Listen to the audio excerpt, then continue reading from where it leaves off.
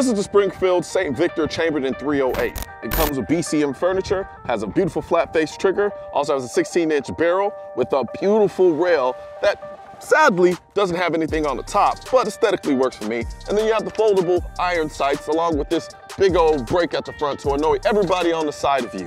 But most importantly, look at this beautiful 2 to 10 Leupold optic with the Delta Point Pro. Isn't she pretty? This is probably the third AR-10 pattern rifle that I've reviewed on the channel as of recent.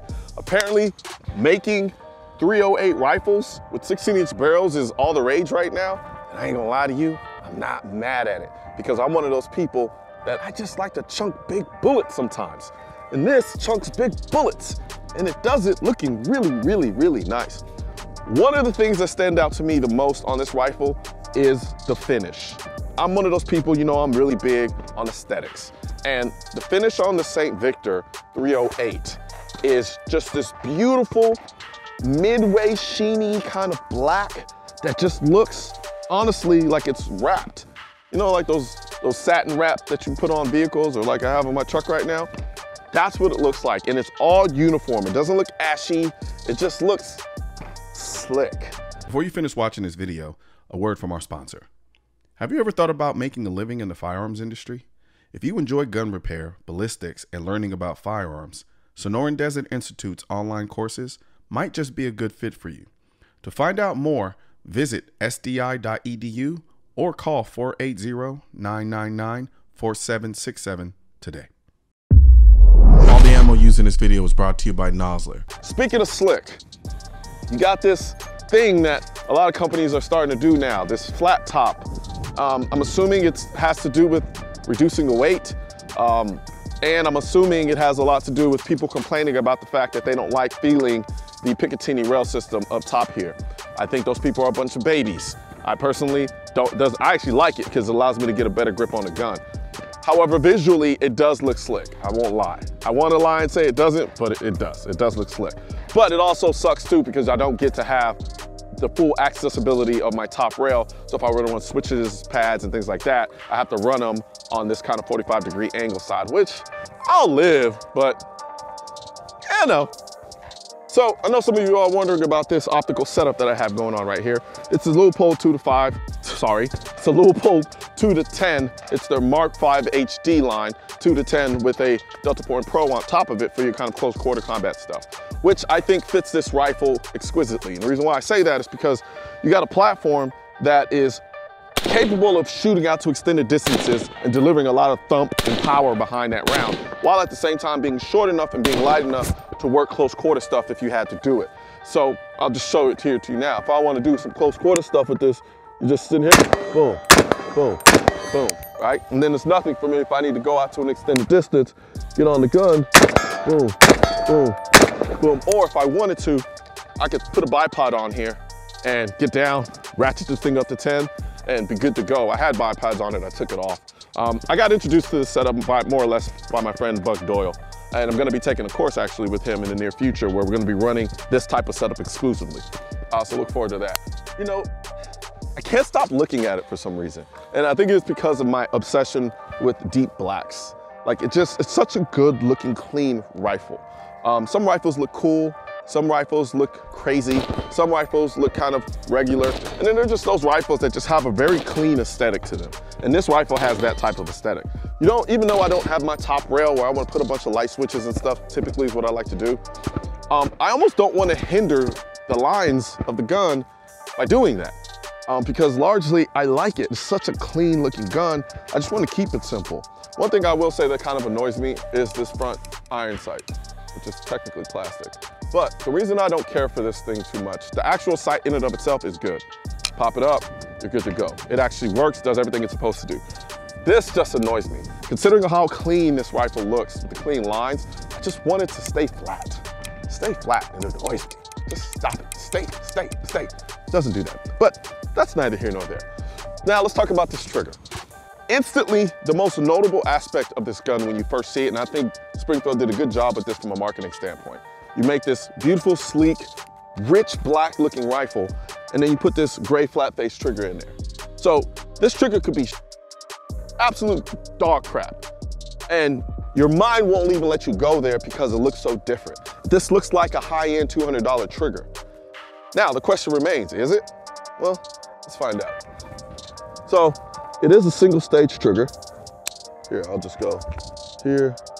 Single stage trigger, so you have a very definitive and strong wall, and you basically pull, and it breaks.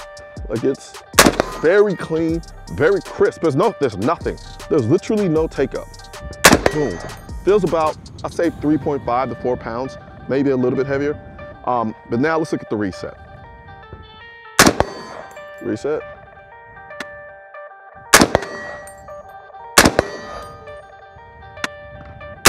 Okay. Trigger reset isn't life-changing. It's your standard good reset on a trigger. So with this trigger, there's a bit of a visual placebo effect going on where regardless of what this trigger is, right? And I think the trigger is good. I'm not really keen on single stage triggers, but for a single stage trigger, this one feels really good. It's not super high speed, low drag, but it is a good single stage trigger that comes in a stock rifle that is relatively affordable. That said, because of the way the trigger looks and the contrast of the color and the shape, it makes it look like a $200 trigger. So you're gonna immediately give it two points above what it actually is if you were to actually shoot this trigger. So if it was a five, it's gonna in your mind be perceived as a seven, which I ain't mad at. Dress it up and make it real for me. But at the end of the day, I do think this trigger is good. It is a good single stage trigger, um, especially because it allows me to do things like this. Like I can run the gun the way I need to. I can run it like a standard AR-15 chambered in 5.56 Or if you just want to go really precise and do something more precision-like, it still allows you to do that because it gives you that level of tactility where you can precisely break that trigger the way you need to. So like if I wanted to stand here and shoot at the very top of the head of that target down there, freehand, I can do that. no problem. So that's why I think this is a really good trigger. It gets out of your way while also looking really sexy. This rifle is inherently light on paper, 7.8 pounds. That's light for a 308 rifle of this nature.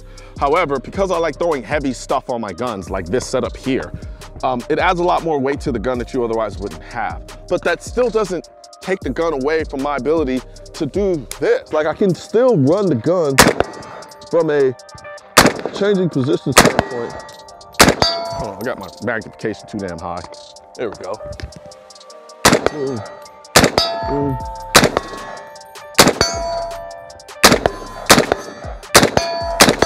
Like, you can run the gun. You can run the gun. It's balanced. It's not too front heavy.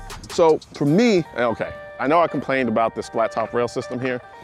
Um, this feels really good, I'm not gonna lie. like just something about it feels good. I still prefer the grippiness of having a uh, Picatinny rail system on here, but it, uh, it does feel good in hand. I give him that. I'll give him that. I'll, I'll concede.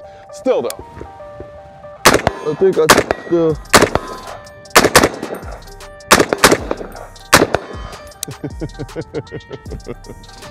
this, this, yeah, look at that. Is so clean and sexy.